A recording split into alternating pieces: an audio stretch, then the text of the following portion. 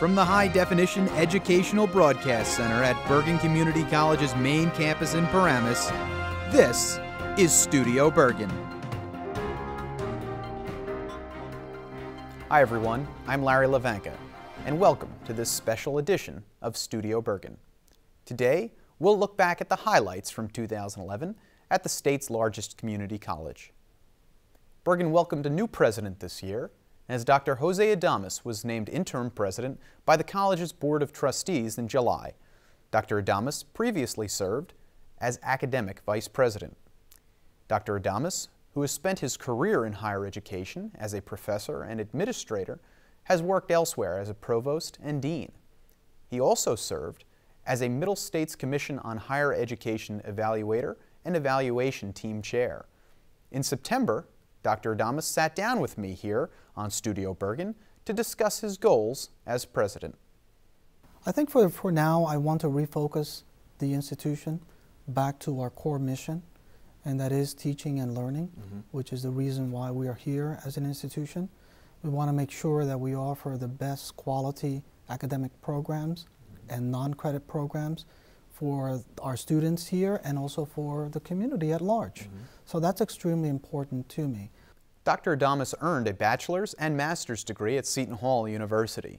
He achieved a doctorate in applied linguistics from Teachers College at Columbia University. The college will soon form a search committee to select a permanent president. Dr. Adames will apply for the position. A decision is expected by July 1st, 2012. In one of the year's other top stories, a record number of students graduated from the college in May at commencement 2011. The new record, 2,139 students, turned their tassels May 19th at the Izod Center in East Rutherford.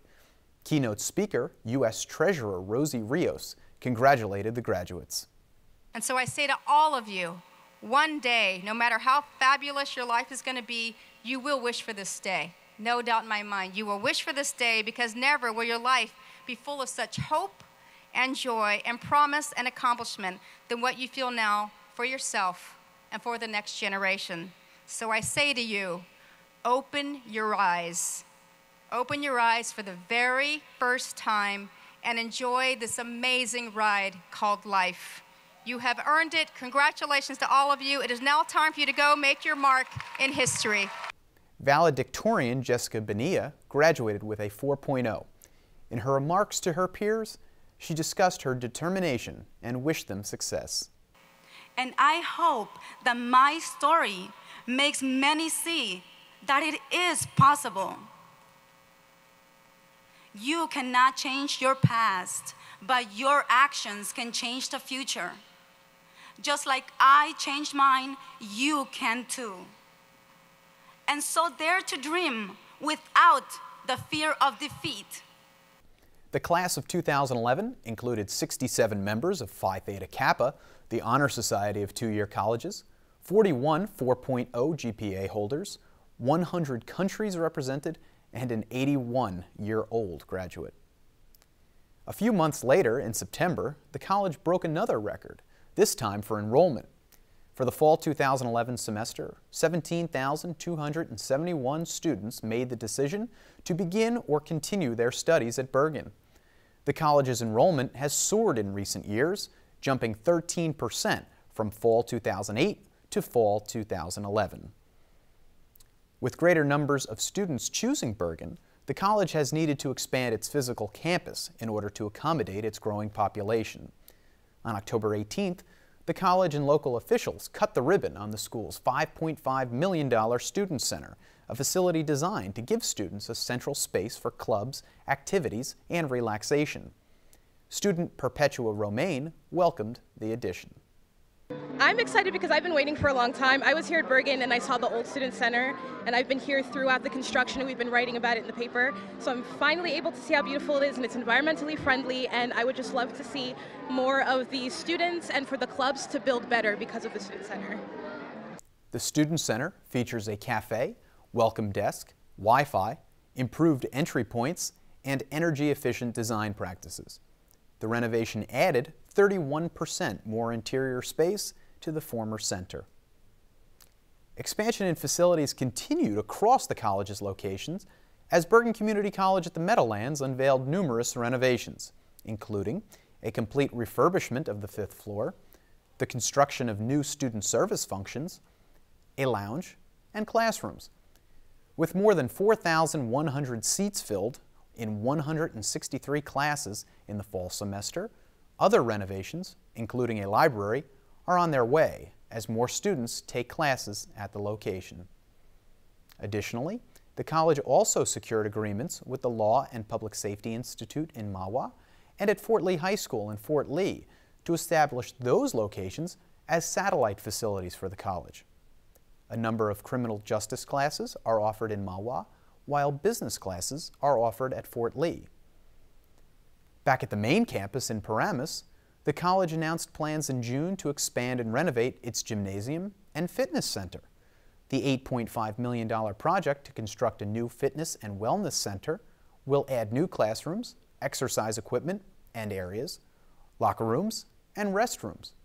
The state and county will equally share the total cost of the project as outlined under the County College Bond Act of the state of New Jersey, often referred to as Chapter 12 funding. The college also made news this year when it obtained a major grant, a $3.8 million award from the U.S. Department of Education. The grant, a five-year project that aims to boost Bergen's ability to recruit, retain, and graduate Hispanic students enrolling in science, technology, engineering, and mathematics fields, was approved by the college's Board of Trustees in October. Earlier this year, the college welcomed back former President Dr. Judith K. Winn for a special event, the renaming of the School of Honors for her. Dr. Winn, who led for 12 years from 1995 to 2007, said the event was humbling.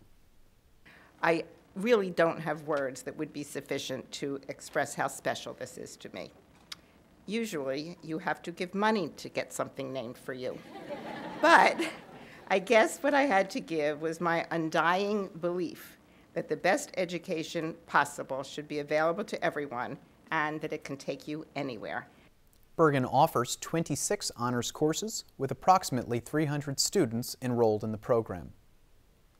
On a somber note, the college bid a final goodbye to former Dean of the Institute for Learning in Retirement, Lois Marshall, who passed away in April 2010 the college renamed the ILR program in Dean Marshall's honor in April, paying tribute to the only dean the program ever knew. At the event, sponsored jointly by the college and the Bergen Community College Paramus Rotary Club, Bergen's Chief Human Resources Officer, Jim Miller, a Rotary member and friend of Marshall, discussed her contributions. She loved Bergen County. With all her heart, she loved Bergen County and she loved the college. She really loved this place. And she put 40 years into this place. And when I say she was a pillar, there's no question about that. She was a pillar. One of the, one of the, one of the things that really make this a great college. And we all miss her very, very much. Marshall worked for the college for more than 40 years. As an educator, she received hundreds of awards and commendations, including a U.S. presidential appointment to a three-year term on the National Advisory Council for Adult Education. After a short break, we'll take a look back at some student and college achievements from the past year, including the birth of Bergen's record-setting Facebook page. We'll be right back. You were the last to be born in a family of seven brothers. That's why you had to sleep on the seventh bunk bed and you developed vertigo. And that's why you couldn't become a pilot and you had to study engineering. You patented 367 inventions, but only three made it to market. The Clap Clap Candle, the Lazy Runners, and the Frit and Go. That's why you don't have an apartment on the 16th floor, and you have it on the 5th. But that's where you met Carmen. After 237 dates, you finally proposed. With her, you had three children. The fourth ended up being a dog. It's not the same, but he adores you. Numbers change your life. That's why you should take control of your credit score by keeping your credit card balances low. For more tips, visit numberschangeyourlife.org. Welcome back to this 2011 Highlights edition of Studio Bergen. I'm Larry Levanka. This year, the college's student newspaper, The Torch, found out it had the right stuff. The staff of the paper took home 19 awards in the annual New Jersey Press Foundation contest, including nine first place honors. The Torch staff earned its third consecutive first place for layout and design, and swept the editorial cartoon artistic illustration category for the second straight year. At an awards luncheon in Trenton, the Torch also won the Sweepstakes Award, which is given to the two and four year newspapers with the highest number of honors based on a point system. Foundation judges examined more than 250 entries from 15 of the state's 19 community colleges. Professor Lou Wheaton is the paper's faculty advisor. Students also received a different kind of award in April, scholarships, at the Bergen Community College's Foundation 11th annual ceremony. The foundation distributed 160 scholarships to Bergen students, totaling more than $185,000. The event, which brought student scholarship winners and donors together to network, recognize the achievements of Bergen students from different disciplines, cultures, and backgrounds. Scholarships are awarded to students based on both merit and financial need.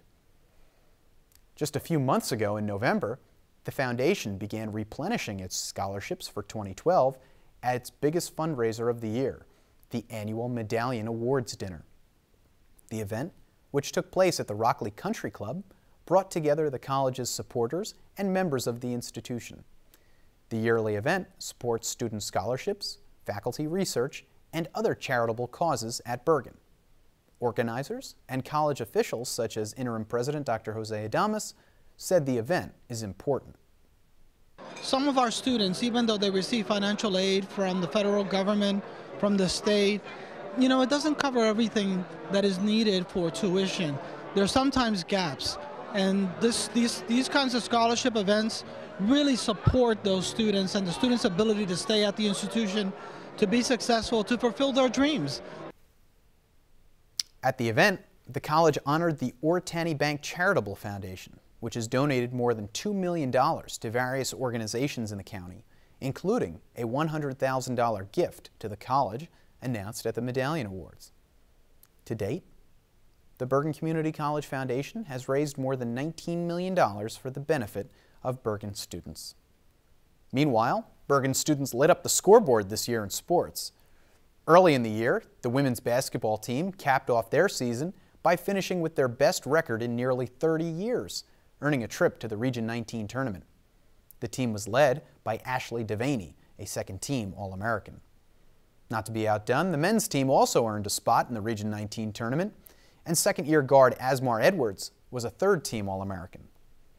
The wrestling team led by NJCAA Man of the Year coach Mike Massiano, also had success, sending two wrestlers to the national championships.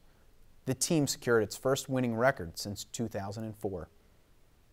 In golf, the Bulldogs captured the school's ninth Region 19 championship and earned a spot in the national tournament. Third year coach Tom McGovern was the Region 19 Coach of the Year. Fall athletes also had success. The men's soccer team's Cinderella run boasted an upset of top-seeded Brookdale Community College in the Region 19 tournament. Later, the team earned an at-large bid in the national tournament. Also in the fall, the women's volleyball team earned a national tournament spot. Additionally, the cross-country and track and field teams had strong seasons. In other news, did you join Bergen's social network in 2011? If so, you weren't alone. More than 6,100 people did. The college's Facebook page, its first social media outreach, went live in January. Since then, the page has become the most followed community college Facebook page in New Jersey and one of the fastest growing in the nation. The page, which is administrated by an anonymous Bergen employee dubbed Mr. BCC by the page's followers, operates in a 24 7 environment. Mr. BCC answers questions, posts daily status updates, and keeps followers in the loop on the happenings at Bergen. The page has earned high marks for responsiveness, tone, and utility. The college expects to expand its social media presence by launching a Twitter account in 2012.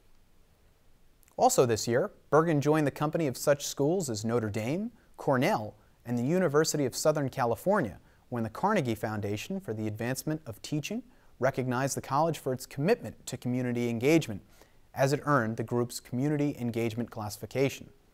Bergen was one of only 12 community colleges nationwide to earn the honor. Bergen earned the award on the strength of initiatives such as its service learning program, issue-based institutes, local outreach campaigns, and workforce development programs. The college received another award when its chapter of Phi Theta Kappa, the Honor Society of two-year colleges, earned one of 20 Distinguished Chapter and one of 50 Distinguished Honors in Action Awards at the organization's International Conference. Additionally, the stars came out at Bergen in 2011 as numerous big-name guests spoke to the college community. Environmentalist Robert Kennedy Jr., the son of the late Robert Kennedy, visited in February, speaking to a packed gymnasium. More than 1,000 people attended. Kennedy discussed his advocacy work and implored those in attendance to develop a greater consciousness about environmental issues.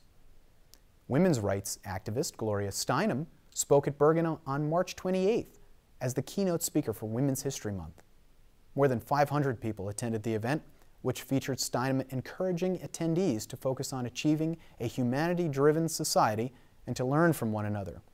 Steinem, who was scheduled to speak at four colleges that week, said she was the happiest at a community college campus because it was much more inclusive and part of the real world. Humorist and actor Charles Grodin also visited this year as part of an event organized by Project Literacy, a Bergen County nonprofit that promotes literacy for all individuals. Other guests included Josh Fox, the director of Academy Award nominated documentary Gasland, which blew the whistle on fracking, a process of extracting natural gas that may have damaging environmental effects, and Nicholas Kristof, a New York Times columnist and two-time Pulitzer Prize winner. Another event that drew a large audience and prominent guest speakers was the college's Forgotten Genocides Conference, which took place over two days and was jointly sponsored with Rutgers University. The conference, which took place in March, aimed to bring awareness to genocides throughout history with an emphasis on the Armenian genocide of 1915. U.S. Congressman Frank Pallone visited Bergen on the first day of the conference to discuss his work with the victims of genocide and offered his perspective. One of the things that I'm very proud of is that as a society, we here in the United States continue to condemn genocide, and we have a convention on genocide, and it's probably never been the case in the history of the world. There's been more consciousness of the fact that genocide, meaning intentionally trying to wipe out a different ethnic or nation, is something that's wrong. So in some ways, we have to be proud of the fact that at least we collectively as a people recognize that that's a, a wrong thing to do, that it's uh, a crime against humanity, that it's not uh, something that's routine. Bergen's Center for Peace, Justice, and Reconciliation was integral in creating and staging the event. On a final note, of course, this also marked the year that this program debuted. I would like to say thank you to you for making it a success. On a personal note, thank you to Dr. Jose Adames, the Office of Public Relations, and the Office of Media Technologies, whom without which this program would not be possible.